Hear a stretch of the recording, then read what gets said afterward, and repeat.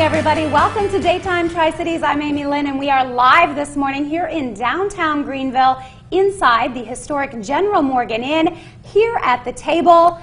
Oh, at Brumley's this morning, and we are so excited to be joined by the executive chef Jordan Greene, spending some time with him this morning. Pleasure and thank you here. for hosting us. Absolutely. That's, I'm happy to be here. It's always a treat to be inside Brumley's here at the General Morgan Inn. Just such a special place, the historical place, and you have really just taken the menu and created something magical. Yeah, we're just trying to flow into that fall season. You know, everybody loves it. Uh, you start hitting those uh, points of pumpkin spice and everything nice. So uh, that's kind of what we're trying to do here now, is just switch it on over from summer and get everybody comfortable for the fall. So some new menu items for fall, but don't worry, the big favorites that Jordan brought over the springtime and summer still on the menu. I was looking for. Chris had picked out his favorites, and. Yep. he said, "Oh, I'm so glad they're still there." But adding some of these new flavors, and one of the things you're working a lot with is this butternut squash. Yeah, Perfect. Absolutely. So here we have it's just a butternut squash uh, puree on the bottom here with some seared scallops. You got some fennel fronds,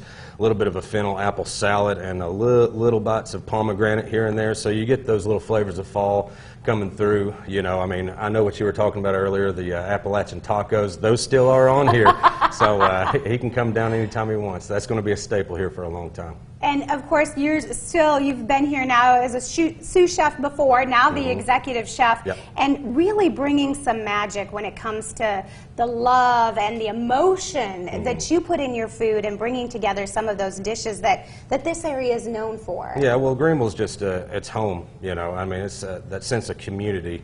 It's really hard to find anywhere else. So, uh, being able to kind of head that up through the restaurant and kind of get get out there to people the way that we want to and intend to, with love and caring uh, pieces of artwork, I guess.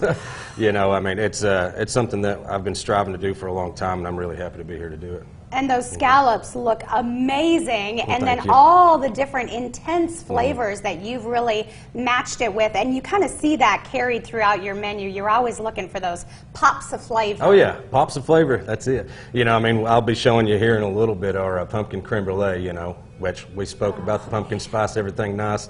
That's all in one plate. Yeah, So, I cannot wait. We're going to have a lot of fun this mm-hmm. morning. Jordan's going to show off some of these fancy dishes, and we're going to show you and do a little tasting. It is all coming up as we are live here at Brumley's in downtown Greeneville. Chris, I know you've been talking about this, and, and you and Jordan really hit it off, so we're going to send you some good stuff back too, okay?